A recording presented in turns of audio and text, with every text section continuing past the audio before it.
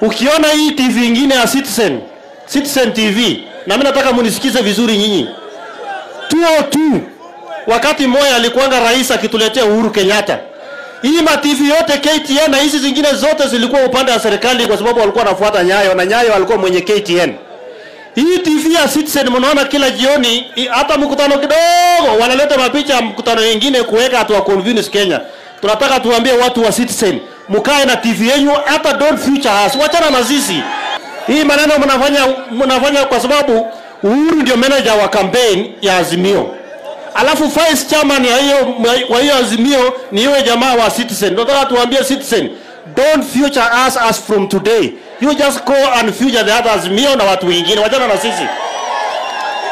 Tuko na mtandao ya kutosha, vijana wengi wako na masimu hapa hustlers. Ama namna gani?